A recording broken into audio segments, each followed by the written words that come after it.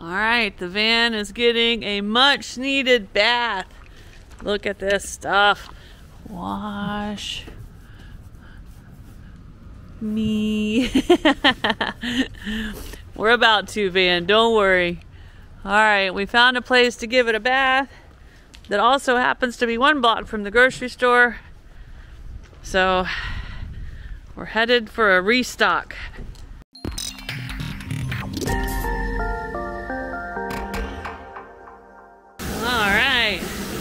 We are winding down, getting it finished. Woohoo! Look how shiny it is. Nice. Over here. Look at that. We even did some work up underneath the chassis this go around. Get all that caked on mud and dust and any rocks. There we go. She looks pretty. Woohoo!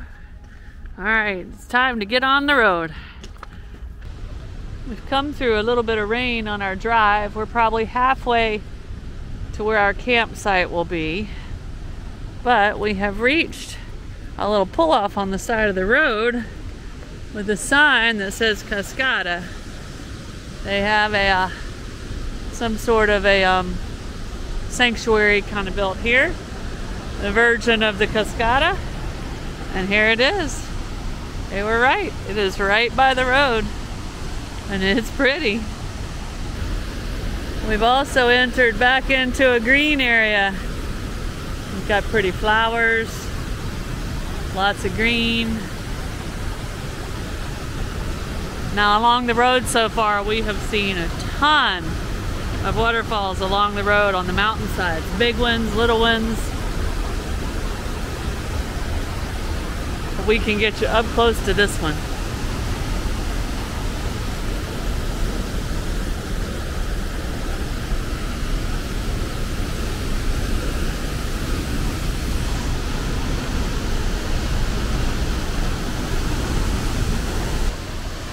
All right, Snow's feeling crazy. I don't think it wise. She wants to climb on these rocks.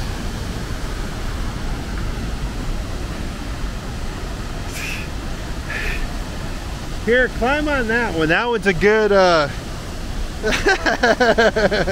there she goes. She made it up there. Kinda. So, we just left a double drop cascada along the side of the road. I think it was the Virgin Cascada. Yeah, really pretty. Really pretty Really place. we got wet in the uh, spray of the waterfalls, and Snow had fun climbing around the rocks. I like rocks. And to be honest, I just went down by the river and just listened to the water and the rocks. The water here is so clear. It is indeed cold, but it is like crystal clear. And we've left there and we're on the Carretera Austral, the scenic route up through sort of southern Chile. And we're coming along this, how would you describe it, Snow? Sort of a canyon, like a canyon we're coming Yeah, up through here. Like a skinny valley. like a skinny We're valley along a river. We're following a river in the bottom of the mountains. is exactly what we're doing. So we have these big scenic different mountain looks on the side and the sun came out and lit it up but now I see some clouds. But all the different lighting gives us a bunch of different colors and visual effects. And then down in this canyon on the flat spots again it's farmland. And we saw up where they were growing all the hay so we're seeing lots of cattle. So clearly that hay is to feed the cows over the winter. Uh, and right along this giant cliff face there's just a river running right along down beside it can't quite get a good shot of it but the water does look crystal clear and a bit blue Ah, these beautiful Andes mountains. Uh, this is a bit sentimental because our time in these things is definitely winding down. All right, we reached our camp spot, potential camp spot, and Snow is out here working the details. If you guys been watching, normally this is my task, But I took a pass and Snow sought this place out, said it was really good. Good morning, everyone. It's a cool, brisk morning here in this Chilean valley up in the mountains. And I got out and I saw some lapwings fly over. And we first started seeing these birds all the way up in Brazil. We didn't even know what they were. But we've been watching these birds for a long way, and really, probably one of the most common birds we see around down here, picking around in the pastures and the farmland and stuff. But everywhere, really. But they, when they see or hear you, they'll all chatter and let everybody know someone's around. And I think right now they're out here in this field pecking for worms. And if you notice, they'll walk along and they'll take a couple steps, and then with their foot, their paw, their claw, they'll just shake the ground. or, and I suppose maybe they're trying to stir a worm or something, or maybe hear it, not sure. But it's definitely a distinctive hunting pattern that they display. It's really cool a lot of times as you're driving by you don't notice those behaviors but then when you slow down and take a closer look it's really always kind of pleasant what the nature reveals. We've been at this camp uh, La Margarita just outside of a small town maybe an hour south of Queulat National Park for a few days.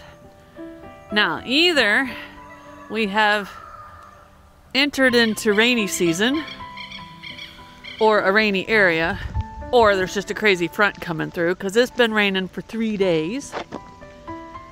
But we needed a break caught up on some editing. It has been a really nice very comfortable camp. Set here at the bottom of a beautiful mountain with little chickens and sheep running around. Now they have these great little cabanas over here where people can actually set their tents up inside. The internet's been reasonable. They have a nice little room over there that is a kitchen with a wood stove in it to keep the tent people warm. The family that runs the place is incredibly kind. And the super exciting part about this place, because if you remember, our hot water heater is out. So we can shower in the van, but it's not quite a cozy shower. But in here, this camp has nice clean bathrooms and showers. Let me show you what a good campsite shower looks like. All right, this is the women's shower. I'll turn on the light. And there's two showers in here. Nice little shower hooks, a chair, and a legit rug. and they're clean. It's not always normal, guys. Sometimes there's no hook to hang your towel, and these are decent sized, a little narrow, but plenty wide. And my favorite part is they get hot.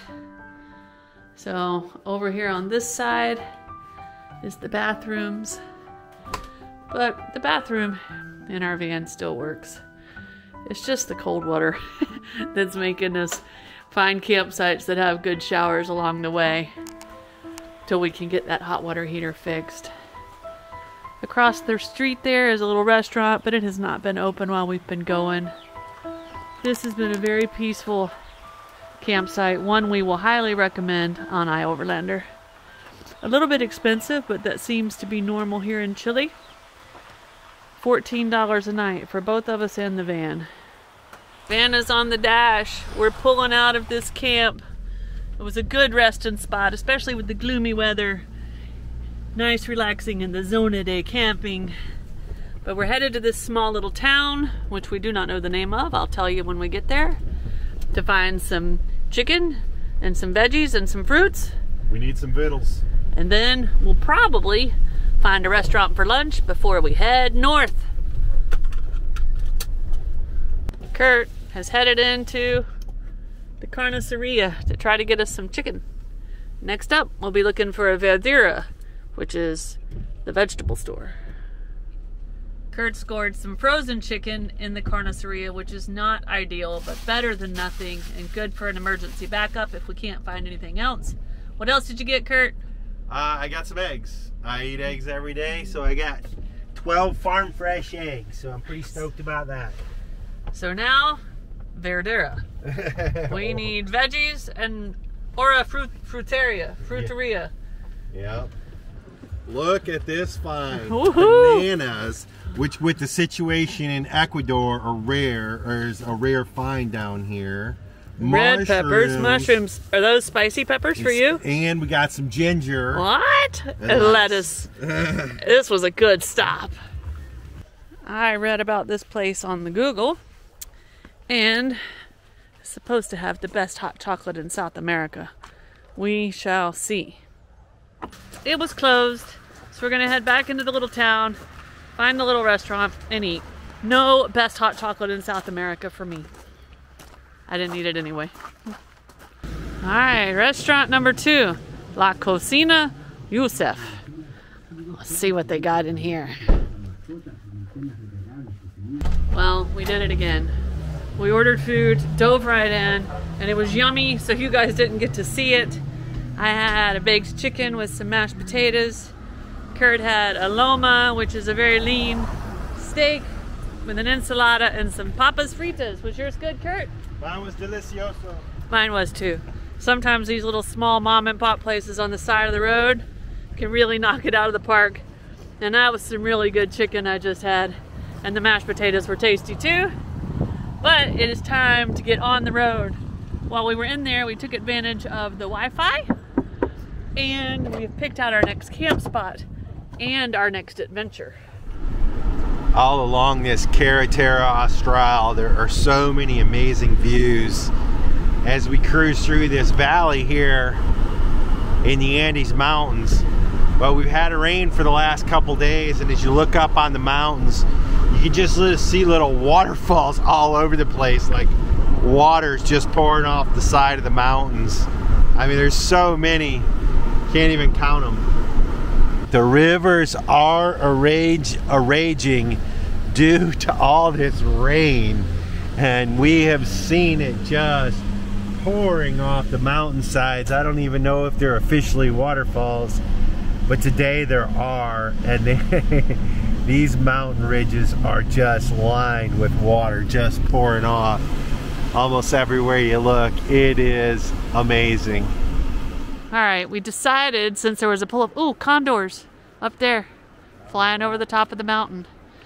There was a pull off, which is rare on this road because it's through the mountains and it's amazing enough that they were able to build this road.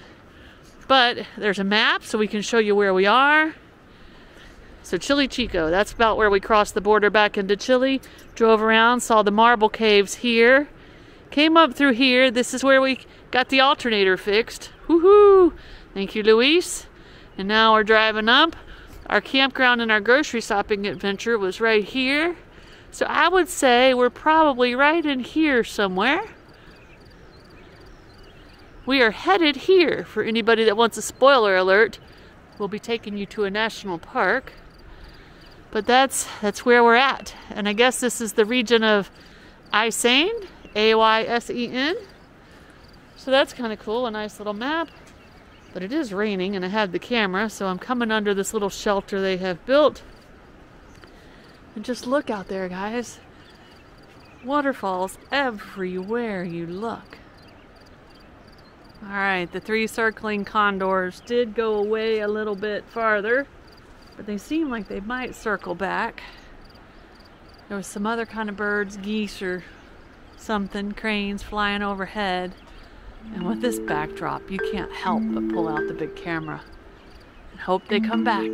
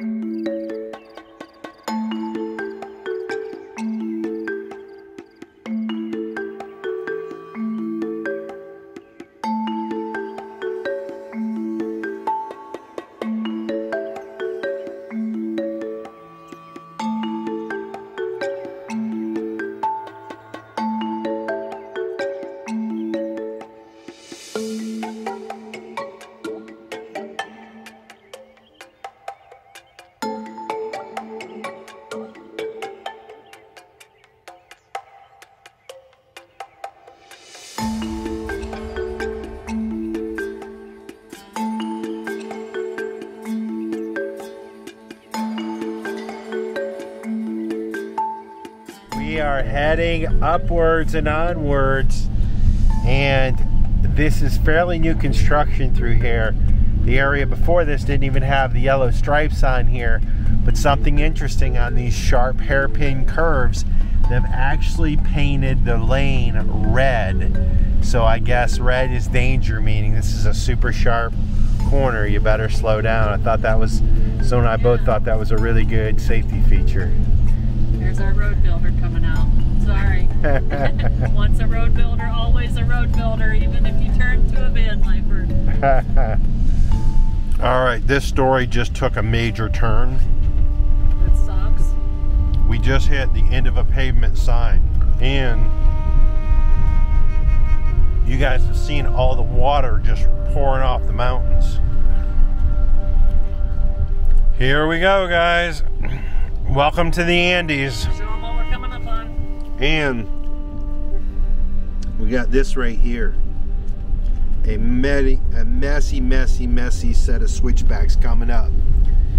I tell you what, this is like deja vu. These Andes Mountains, all of a sudden you're riding along and you get to the scariest bits. You got no idea it's coming. Mm. The only thing missing is fog. I hope I didn't just jinx us. Sure. All right, we have a stop and go panel now. I will tell you, a couple minutes before we got on this gravelly road, someone was really flashing their lights at us. And uh, of course, we didn't understand why. And this is that switchbacky area. And at the start of it, there's a construction crew here with uh, stop and go paddles. Not sure if you can see it, but in the drainage set just to the right of us is full of water. And yeah, you can see where the water coming down, they're just trying to keep it cleaned up, get it cleaned up to let the water flow. So fortunately it's not a landslide, but I think they're trying to prevent one right here.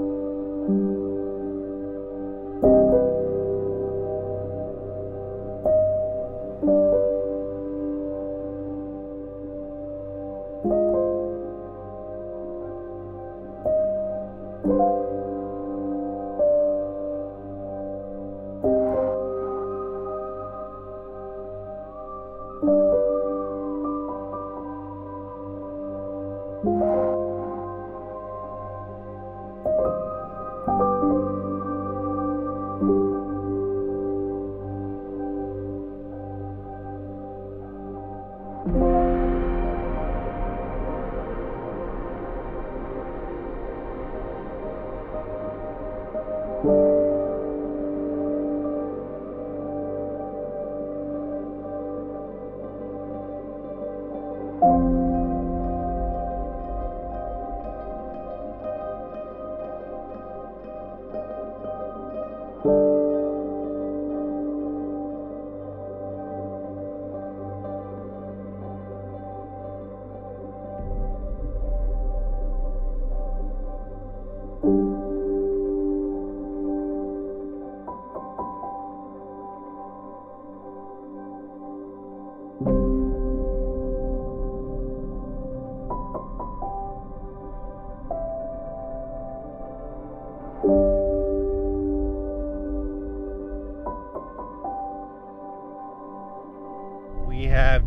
just kind of come out into an open area with a huge body of water on the left. And that means we're extremely close to our camp spot. So we made it to camp. The sun is coming out. You guys know that the water always makes my heart just happy. My soul shines. And we are by the water. But wait till you see the reveal of the whole campsite. Now, if we're lucky, we might see dolphins swimming out in this water. We will be keeping an eye out. But watch this. Not only are we parked by the water, we have an epic, epic view. The sun came out and is shining right in our window. The kitties are chilled out and relaxed. Wow. What a beautiful wild camping spot. Right on the side of the Carretera Austral. What's up? We made it. Home sweet home. All right, guys. This is where we're going to wind this video down. Cheers, guys. We'll see you in a few days from somewhere else epic. If you like this video, be sure to subscribe to our channel and hit that notification bell so you guys know when we put out new videos. And don't forget, you can always follow us over on Instagram to see what's going on in between videos. Cheers, guys!